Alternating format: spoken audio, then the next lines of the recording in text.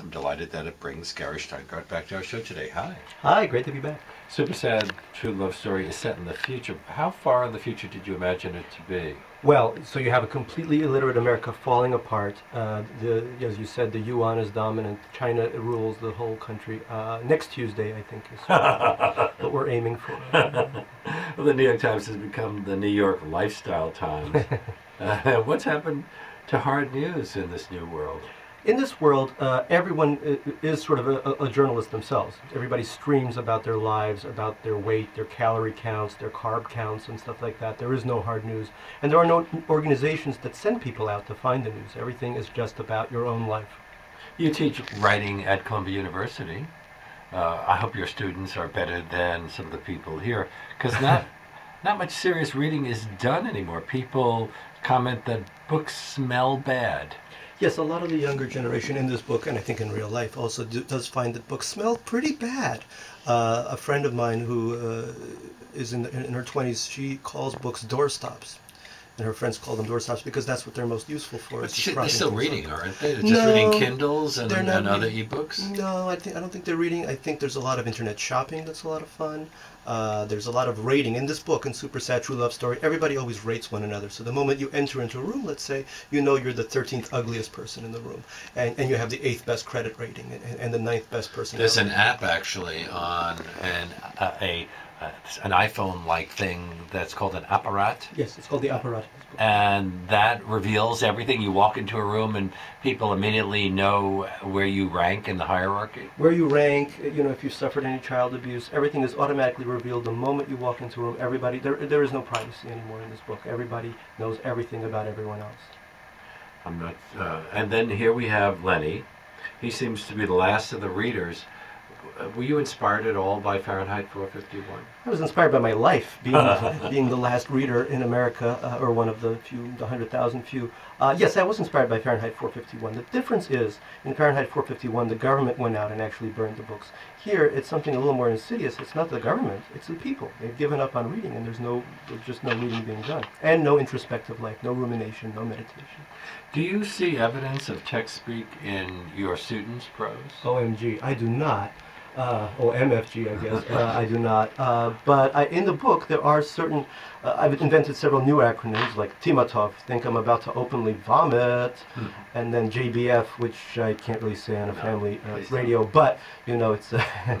I've had so much fun with acronyms. It's really interesting. I mean, you know, uh, these kids, for example, at Columbia, the undergrads, they're brilliant. You know, but they're they're slowly entering the world, the post-literate, post-book uh, world, where their information is constantly being sliced and diced into tiny little pieces. So they're great at, at multitasking, they're great at understanding 30 different things at once, but they can't put them all together maybe.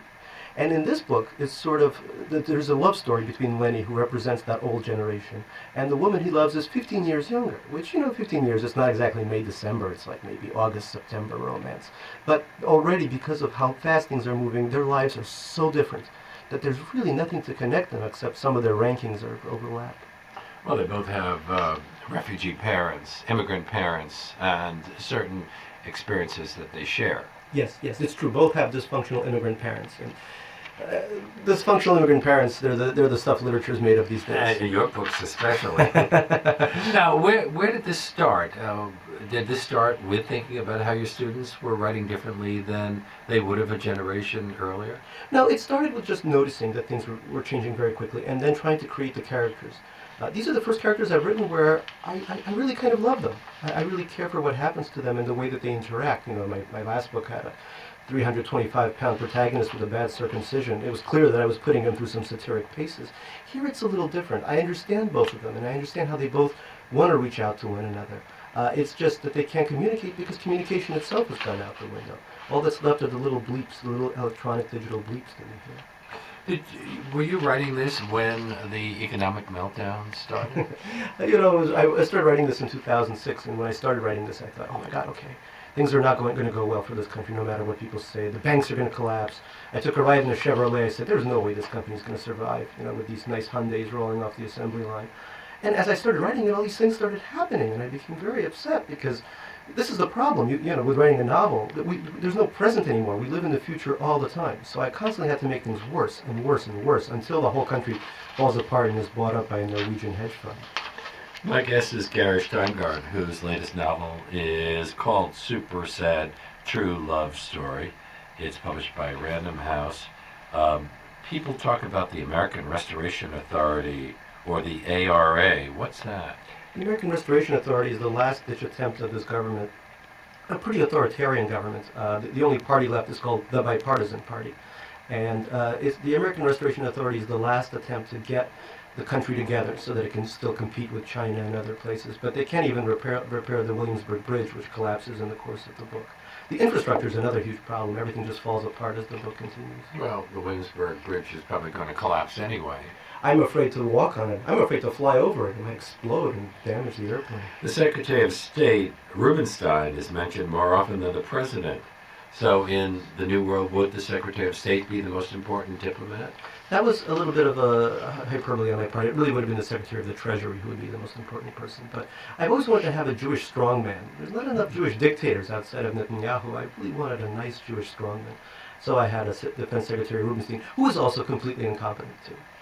You tell the book in two different first persons, his and hers. Uh, why that approach?